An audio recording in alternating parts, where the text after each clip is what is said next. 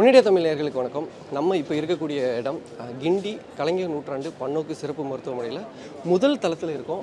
Out patients இருக்கக்கூடிய இந்த இடத்துல தான் காலையில் இந்த ஒரு துர்பாக்கியமான ஒரு சம்பவம் நடந்துச்சு அப்படின்னே சொல்லணும். புற்றுநோய் சிறப்பு மருத்துவர் பாலாஜியை சிகிச்சைக்கு பார்க்க வந்திருந்த விக்னேஷ் அப்படின்றவர் பெருங்குளத்தை சேர்ந்தவர்.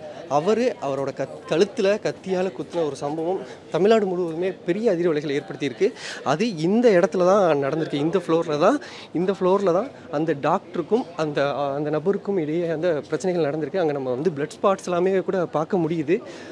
அது இப்போ இது தொடர்பான தகவல் கிடைக்கும் போது என்னவாக இருக்குன்னா விக்னேஷ் அவரோட தாயாருக்கு புற்றுநோய் சிகிச்சைக்காக இந்த மருத்துவமனையில் கடந்த ஆறு மாதமாக மருத்துவம் பார்த்துட்டு இருந்திருக்காரு.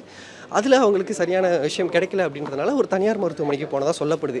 அங்கே ஏற்கனவே கொடுத்த மருத்துவம் தொடர்பான சில மாறுபட்ட தகவல்களால் அந்த விக்னேஷ்ன்றவர் கோபம் கொண்டு வந்து கோபமாகி இங்கே வந்து இந்த மருத்துவர்கிட்ட பாலாஜிட்ட வாக்குவாதம் செஞ்சுருக்காரு. அந்த வாக்குவாதத்தின் அடிப்படையில் அதோட ஒரு ஒரு எஜ்ஜில் தான் இந்த சம்பவம் அப்படின்றது நடந்திருக்கு. இப்போது இந்த ஃபஸ்ட் ஃப்ளோரில் தான் நடந்திருக்கு. நம்ம பிளட் ஸ்பாட்ஸையுமே கூட நேரடியாக பார்க்க முடியுது. ப புற்றுநோய் சிறப்பு மருத்துவர் பாலாஜி அவர் தான் வந்து இப்போ மருத்துவமனையில் இதே மருத்துவமனையில் ஆறாவது தளத்தில் ஒரு ஐசியூவில் வந்து தீவிர சிகிச்சை பிரிவில் இருந்துட்டுருக்காரு.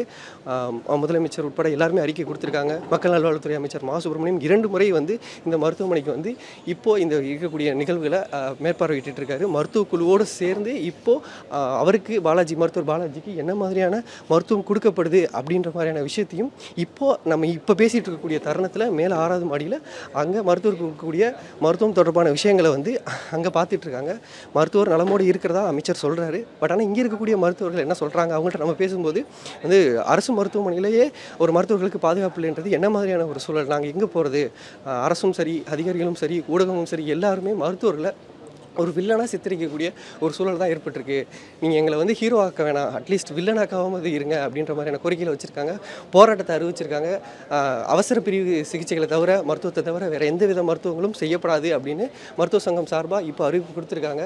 அவங்க பத்து அம்ச கோரிக்கைகளையும் கொடுத்துருக்காங்க.